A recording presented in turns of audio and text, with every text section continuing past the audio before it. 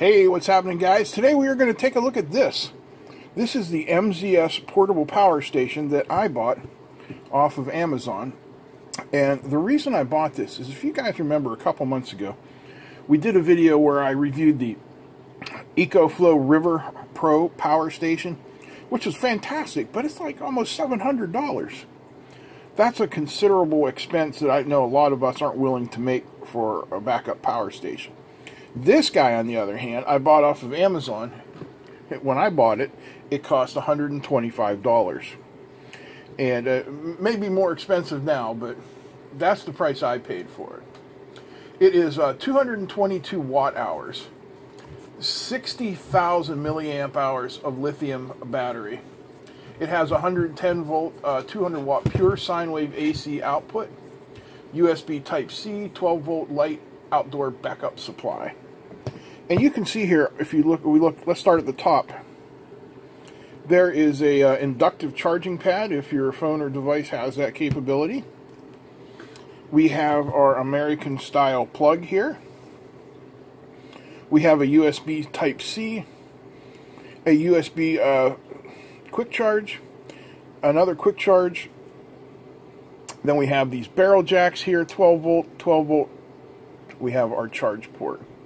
Now, if you fell for my clickbaity title, there's a reason for that. It has to do with these two switches right here. If you were to use this device in your car with flashing red and blue lights, I know in Ohio, you would be pulled over and probably arrested for impersonating a police officer. You are not allowed to have flashing red or blue lights in your car in Ohio. But this does have some other uh, interesting light functions. We have a very bright light.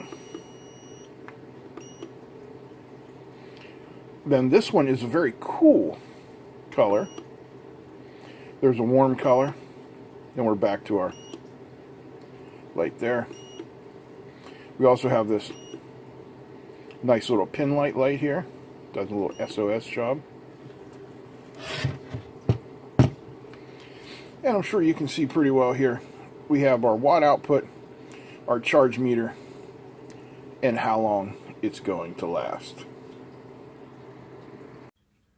Okay, we're good and charged here. So what you say we power up the AC, have a look at what the waveform looks like, and get a little voltage reading off of it. Make sure our meter's in AC. Get these probes in here. There's some sort of a protection shroud in here. There we go. Now we're in. And AC is on. What are we getting? 115.7. All right. Let's see if we can't get a look at the waveform here.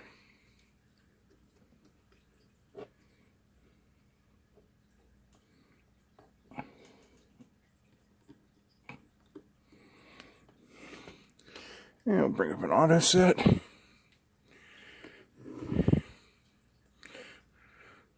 Yeah, it is a, uh, it's not too bad.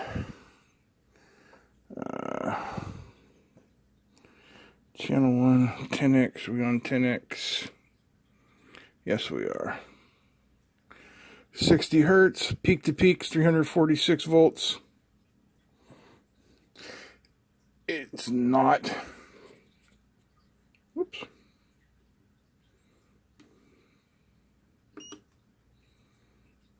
There we go. It's not the cleanest sine wave I've ever seen. But compared to old school inverters, this is absolutely fine. So, very pleased with that. So as you can see, it does output a very nice sine wave, and the voltage is right in line for what we do here in the US. I know it's really hard to see, but that little AC is lit up there. We'll turn that off. So I figured next we could bring in one of these guys and we'll have a look at how it handles power. So let's hook it up here. Turn on the USB. You can see we're getting 5.16 volts out of there. Alright, let's turn this up some. Get some drain on it. There you can see we're outputting 5 watts. And it is still at 5.1 volts. 0.94 amps. So let's turn it up a little bit more.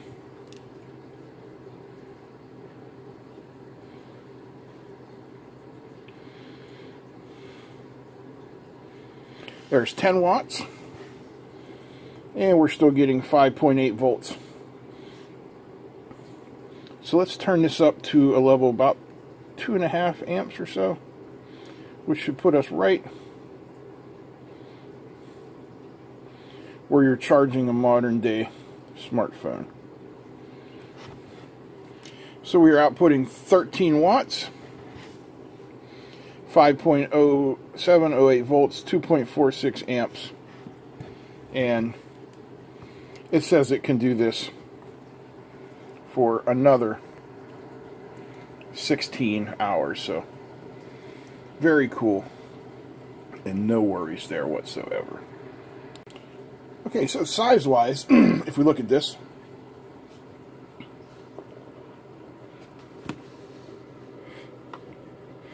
we are looking at about 70 centimeters or did I do that wrong? Yeah, 170 centimeters or about 7 inches tall 120 centimeters or four and three quarter inches deep.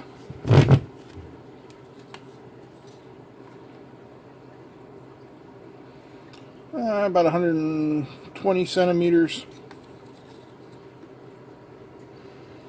Four and three quarter inches wide.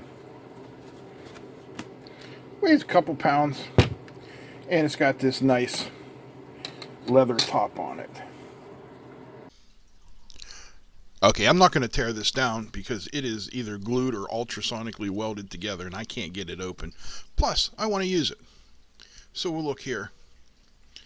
And you can see it includes short circuit protection, overload protection, overcharge protection, over current protection, over discharge protection, over temperature protection, and under voltage protection. And if you look in here, you can see it's made up of banks of uh, what are probably 18650s. And another thing, just giving you some more info on the front.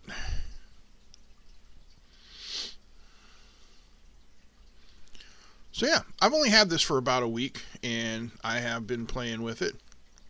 Now it gives you multiple ways to charge. You can charge it from your car, you can charge it from a solar panel, or you can charge it with the built-in charger. All in all, very cool. And we can see it has a four-star rating. So if we come down here, only one review. That's interesting. Oh, okay. See more reviews. I was gonna say that's interesting because was four. Okay, so that guy gives it five stars. Huh. Only one review, but it's got four stars, and this guy says five. Interesting.